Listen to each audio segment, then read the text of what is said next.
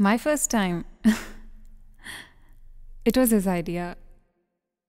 I was least expecting it. just perfect. I feel like it was made just for me. My first diamond pendant? A dream come true. Presenting stunning diamond jewelry starting at just rupees 4100 only at ilovediamonds.com.